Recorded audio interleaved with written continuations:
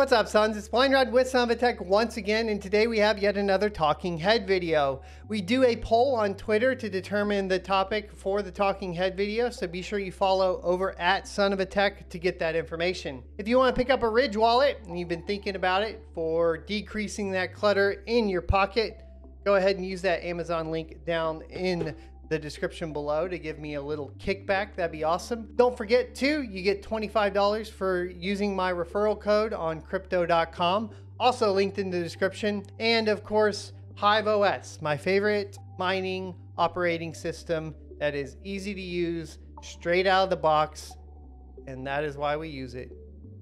We've been asked that question a few times. So there you go. Now, we were going to talk about Ethereum moving to proof of stake. But some recent changes that have been pushed forward as far as in the timeline have kind of shifted that topic to talking about EIP 1559. Most of you have already probably heard about it, and I'm going to try to explain it in the most layman terms possible, with, of course, my lack of knowledge on as much of the blockchain there as I have. I do understand some of the basic math here, and hopefully, what I've been able to gather from what's going on, I can relay to you in the easiest terms possible. Now, to start it off, EIP, what is that? That is an Ethereum improvement proposal. This one in particular was proposed, has been in the works, and is now getting ready to be released. The number is just noting, of course, the proposal number, so nothing too big there. There are a couple different types of EIPs. One is going to require a full network upgrade, and that is a core EIP. Others don't require full network upgrades. Examples of those that don't would be like the token system, ERC20, where people are allowed to go ahead and start utilizing it, but it didn't require a big change across the entire network.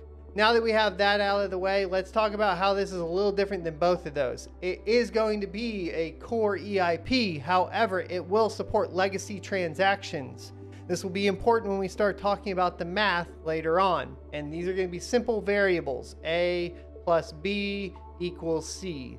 And then A equals C, right? That sort of thing. It shouldn't be too hard to understand. It's pretty straightforward. So, what is EIP trying to do? The first thing it's trying to do is make transaction fees more predictable. How they're proposing to do this is by specifying a minimum fee.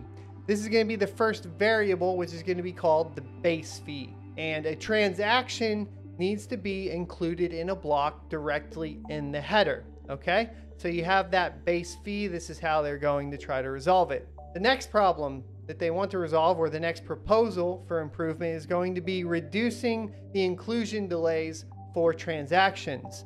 They're proposing that they will be doing this by doubling the block size and keeping it half empty most of the time. This, in theory, will basically decrease the transaction times. We can talk about that in a later video and how all this math works out as far as that goes. If you're interested, let me know in the comment section below. Now, finally, they're going to create a positive feedback loop between the network usage and ETH supply. Ooh, this is the big one, guys. For miners, this is a big deal. It's going to be a big deal for a lot of people. When they're talking about supply, the supply on Ethereum is not capped. They are proposing to do this by increasing and lowering the base fee as demand for the block space increases and decreases. So that base fee is going to fluctuate depending on the demand on the network. So, for example, on Monday, when it dipped, right, and everybody was the the the network was very congested, and that means basically that base fee is going to go higher and higher and higher when people are trying to con- do more on the network. So keep that in mind. It's kind of an important thing because what are they going to do with that base fee? So to solve that problem, they say they are going to burn the base fee. What is burning? Burning means that they are going to take that base fee and remove it from the total supply of Ethereum. So if that base fee is 2 Ethereum, they're going to remove that 2 Ethereum, thereby decreasing the total supply of Ethereum. The thought behind this is that it will increase the price of Ethereum, which would maybe work if Ethereum wasn't a capped coin, as BitsBeTrippin so aptly put it on his video earlier today covering this. So we have the base fee. There are going to be two more variables to this fee system or this new system. We're going to have the fee cap. So at all times, there will be a cap on fees. At no time can you go above that fee. And what that's going to do is, in theory, make the transaction costs more predictable. Okay. Now, along with that is the tip. Now, this is where mining comes in. The tip is going to go to the miners. And so, if you want your transaction on the network to go through faster, you will increase your tip to put yourself to the front of the line and get your transaction done quicker than somebody else not tipping the miners as much. However, the tip plus the base fee can never exceed the fee cap. The fee cap has not been announced yet from anywhere I can find. So, unfortunately, we don't know the differences between how much the base fee will fluctuate, how much potential you have for mining, because we also don't understand what the fee cap will be. But as we work through this, we might get a better idea. So, fee cap equals base fee plus tip. We talked about them being able to allow legacy transactions. A legacy transaction is all determined by gas fee, and you can basically put a bid on the network to get your transaction done faster by increasing how much you want to pay for that gas fee.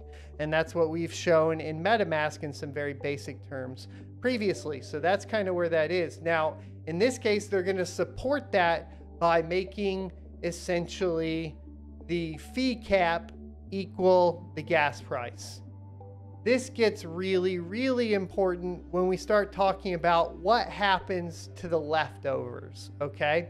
So we were talking about them uh, increasing and decreasing the base fee based on network usage. So let's say the network usage is really high and you go ahead and submit a transaction, but then by the time it gets to that, your the network usage is low and the base fee decreases.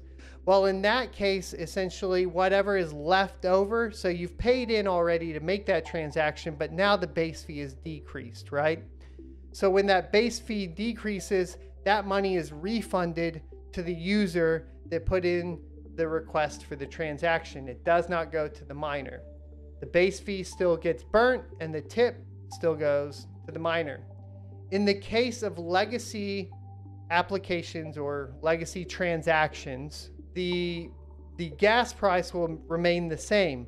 However, as opposed to let's say they overpaid, right, and the network usage was high and then dipped, in that same scenario, they are going to burn the rest of that fee. That's going to encourage, of course, all of the legacy transactions to upgrade to the new one because the users are going to get upset that basically they're burning extra money, even though the network usage was low when their transaction finally went through. So here's the reasons they are fee burning, and this comes directly from their documentation. I'm not speaking out of terms or or saying anything that they didn't say, and it's it's very eye-opening. First, uh, they're doing it because miners could collude to keep the base fee high. Miners now just get a tip and the block reward. The block reward is the two Ethereum that you're rewarded at all times for solving a block. And then the tip now replaces that fee.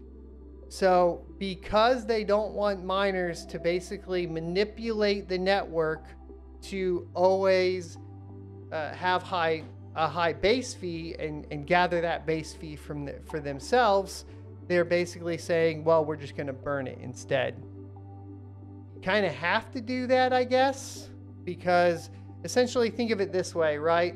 If miners started manipulating it and the network usage is high or high, right, and then it dips, then you would just decrease the hash rate to keep that that base fee high. That's essentially what they're trying to prevent people from manipulating by doing the fee burning. Now, they also say fees are a bulk of the miner reward. That's in their documentation here. So because of that, they added fee burning. All right, cool, dude.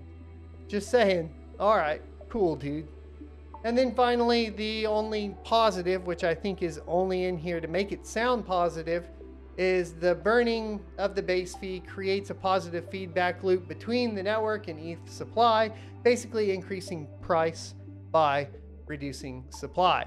Not really, um, because like we talked about before, Ethereum is not a capped coin.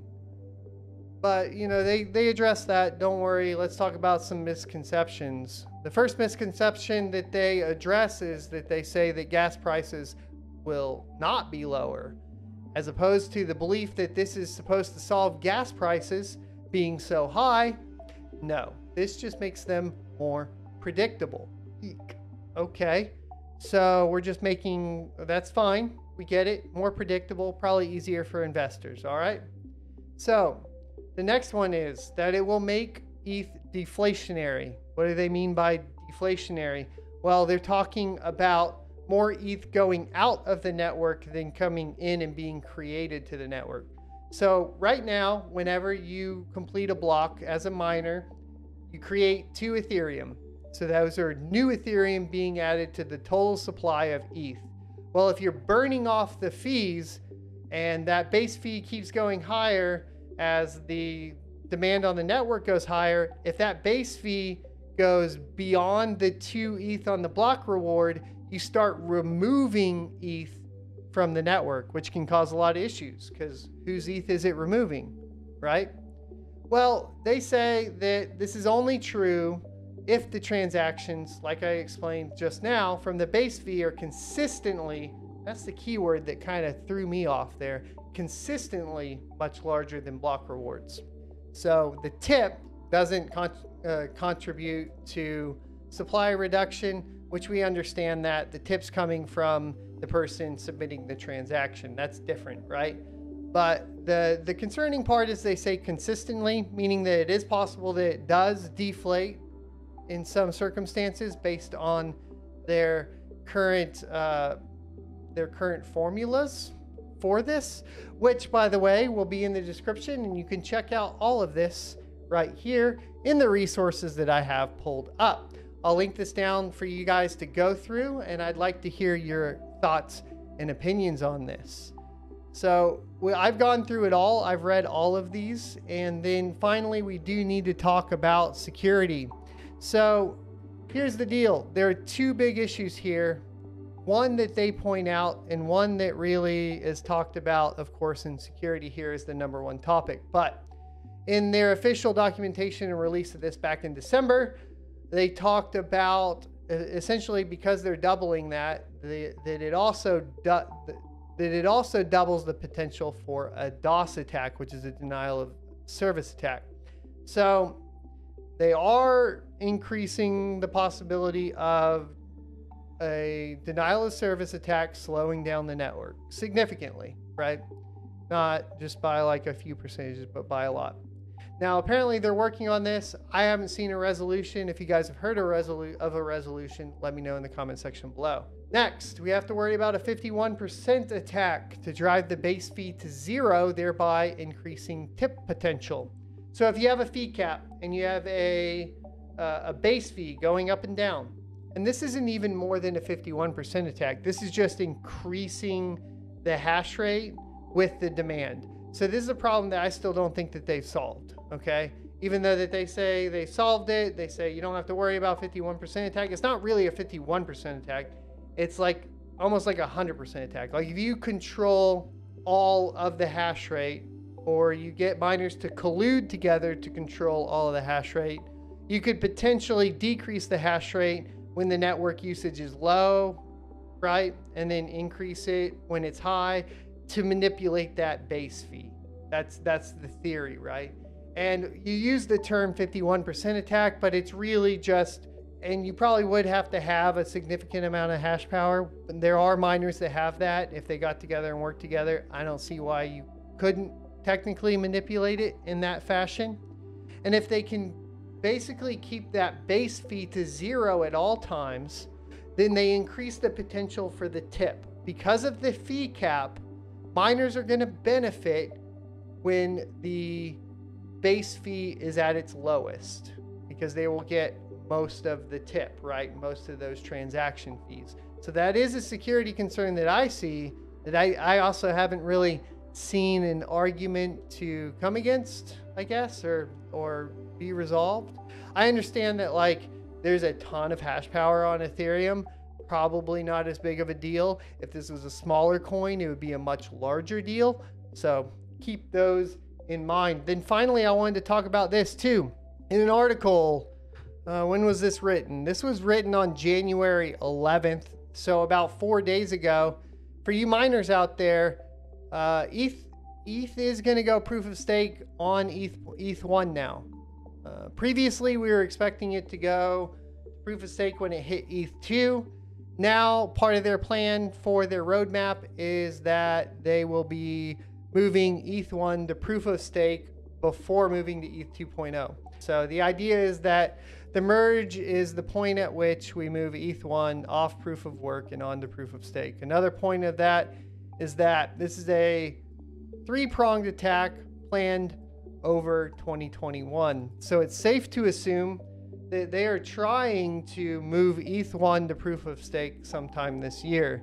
However, the good news is when asked about EIP 1559, if we could expect it within the next three months or it'll take longer, Tim said almost certainly longer. So we know that EIP 1559 is coming before the move to proof of stake for ETH. And we know that it won't be in within the next three months. So you're good for Q1. What does this mean for miners?